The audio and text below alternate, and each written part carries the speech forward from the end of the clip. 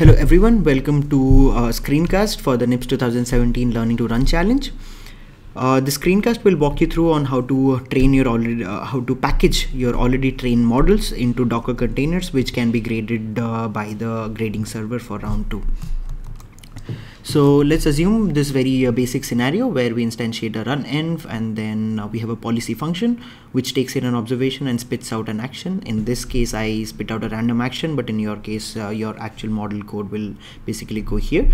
Then we take the first observation by env.reset and then we pass in the actual predicted action by client dot, uh, oops, it's env.step all right it's by env dot step. Now we just have a quick look at how do we uh, convert this into uh, how, how does the how do we make it uh, something that uh, is supported by the grader? First important thing is uh, to kind of instantiate the client which uh, talks with the grader. The client has a very similar interface as um, the run env instance. So we just need to instantiate it first then instead of taking n dot reset now we replace it by client dot uh, oops, observation equals to client dot env create actually. So first we need to create an environment uh, which uh, will also respond with the first observation. Then inside in here inside here instead of env dot step we need to do a client dot env step now some other key changes are this particular script assumes that uh, the whole thing runs for just 200 steps while the grader expects to run uh, as many simulations as it uh, wants. So to do that we provide uh, this block here in the submission script and I will walk you through this block. So what exactly happens here is uh, we go into an infinite loop and then we get the first action action in this case will be policy of observation. Then instead of uh, n dot step as I said we do a client dot uh, n uh, step. Now the trick uh, now we can optionally print the observation. Then the done variable will be false when one simulation ends. But the grader um, can be requested uh, it should always be requested for another uh, simulation by client dot n reset. And if client dot n reset returns a new observation then uh, that means that the grader wants to run another uh, simulation. If uh, the grader returns a false instead of an observation then you're supposed to break out of the infinite loop and simply do a client dot submit. This is exactly uh, what you need to do to be able to have your code supported by mm, uh, the current docker based uh, mechanism. Now how do we move all of this code inside docker and into the template that is provided so we provide one template here uh, which can be used by you. So first I would suggest uh, you pull uh, the latest version of the template. And now I had already pulled it so it's already available. But after you uh, after docker pull uh, sp slash crowd nips learning to run challenge executes then uh, you can check if it is already available or not by doing docker images. You should uh, see this. Now we need to be able to first go inside the docker container which we can do by docker run minus it the image id and then we need to exec execute slash bin slash bash which will give us a terminal inside the container. Now we are inside the container. If you go in, into the home directory inside the container you will see there are two scripts which are already provided. Uh, one is submit.sh which is the principal script which will be uh, called by the grader when we want to uh, run uh, the, when we want to uh, grade your particular submission and as you can see some of the basic things that need definitely need to be done in submit.sh is to instantiate uh, the redis server by etc init.d redis server start. Then also activate OpenSIMRL or any other conda environment that you end up setting up uh, in your um, container. And then finally calling the actual script uh, in the currently uh, set up environment. So now the thing is we already have our uh, scripts that we just edited in this one folder. It can have in your models and everything else but everything is in this one folder. Now we need to be able to move this from uh, my laptop via the host to inside the container. To do that first we need to figure out what is the um, uh, id of the container which we can get by docker ps minus a. So in this case docker uh, the container uh, that uh, is currently running is uh, the id is uh, this highlighted number. And what we can do is uh, we can do a docker cp learning to run is a path to the directory that we want to uh, move and then the container id and the path inside the container. We we want to move this inside the slash home uh, directory and we move it here. And now if we do ls again we see the learning to run uh, directory with all my code from my laptop is inside the container. Now uh, what we want to do is uh, first we uh, of course uh, remove round to submit. That is a template which we used as a reference and finally converted our code into run.py run.py is now available inside learning to run. So the path will be slash home slash learn to run slash oops uh, run.py all right. And now we reference this script instead inside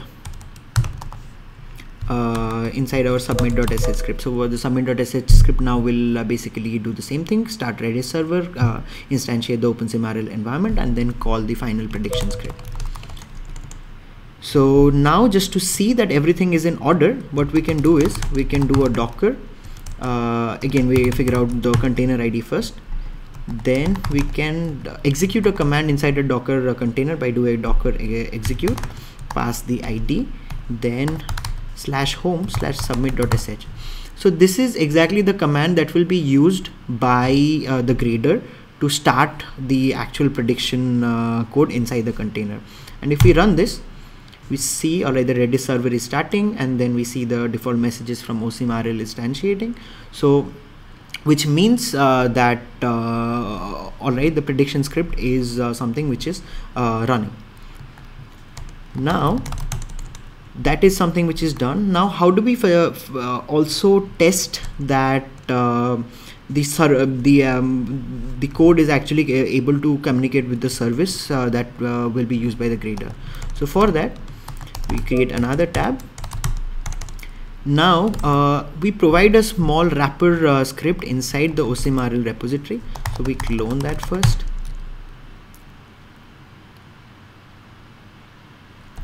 so then inside OSIMRL repository we see in OSIM uh, redis service.py is where we have uh, the template script service.py the parameters it needs us to pass are, um, just the port. So uh, okay now what we do is uh, we execute the same thing but with minus p.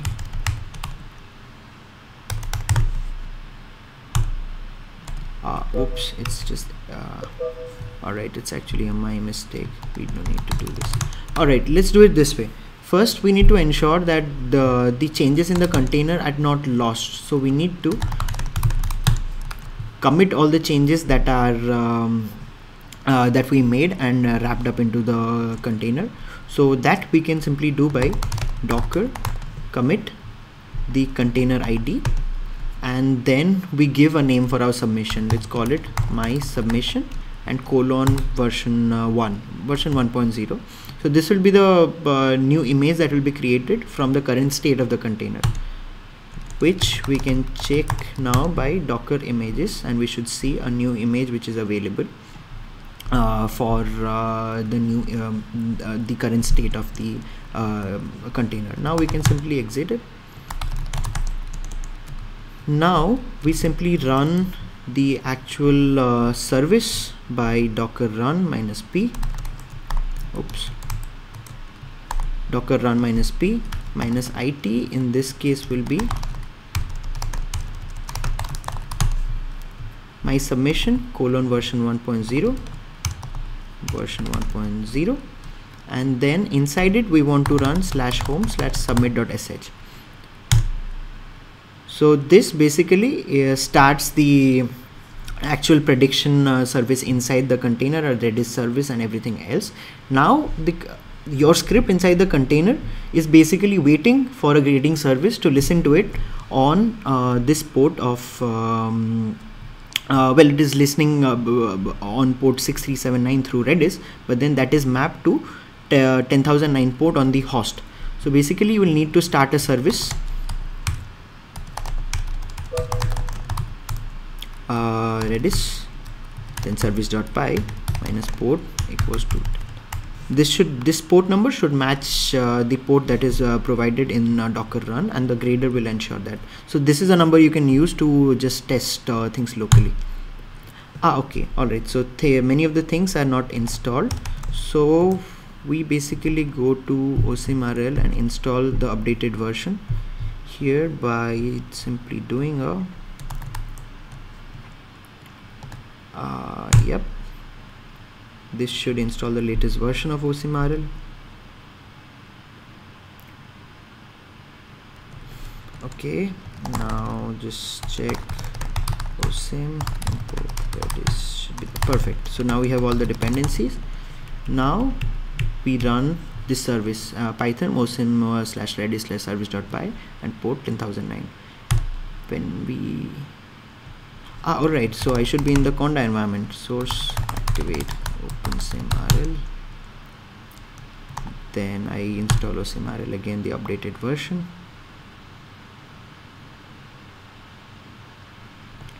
And now we should be able to run the service which talks to the grader. And finally at the end of it should be able to sub, uh, spit out the final reward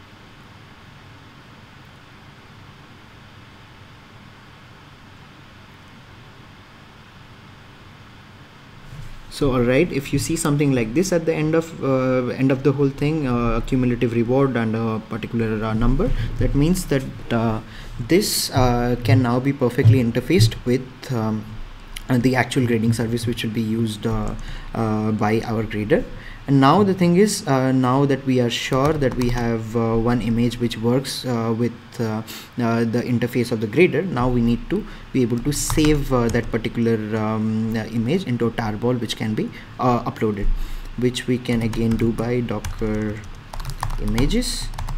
Docker save my submission colon v.1 in this case but you can have multiple commits and you can name and tag them as you please.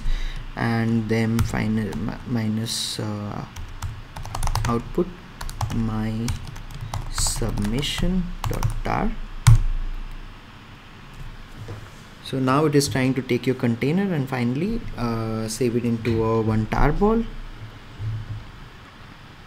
so these are huge files and we know about that and uh, but this is again a requirement to be able to ensure that the grading process is completely fair and uh, uh, by design no one uh, can reverse engineer the seeds but while this happens I'll just give you a quick overview of uh, the service.py in service.py as you see uh, again one is the seed map uh, where the seed map uh, uh right now is just 11 22 33 that means um, the grading service uh, needs to run three simulations with uh, three different seeds being 11 22 and 33 but in our case we can have an arbitrary number of seeds and max steps would again be um, 1000 steps as defined by challenge rules.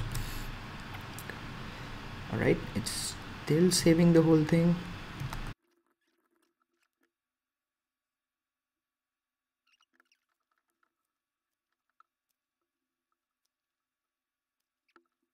Okay progress. Now we have the tar container. As my submission that tar okay let's just organize things. Yeah we come to this folder so it's a bit easier. Now this is just a tar file and it should be huge. 4.7 gigabytes. Let's just uh, gzip it so we save a little bit more of the space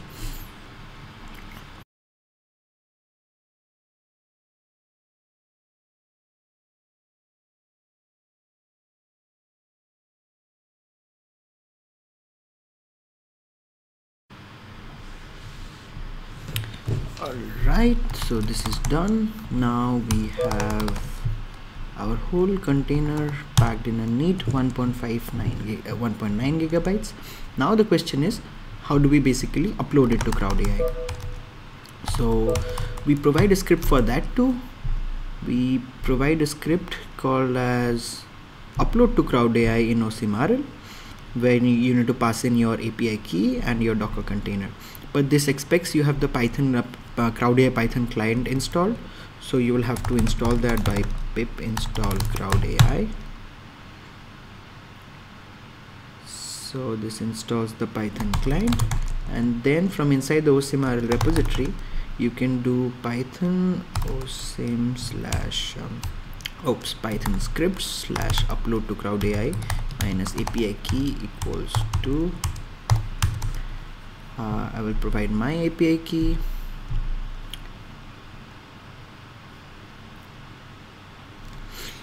I'll be changing this API key so don't even try using it. Mm, then you have to pass the path to docker container which is dot dot slash my submission. So this should ideally upload your model to crowd AI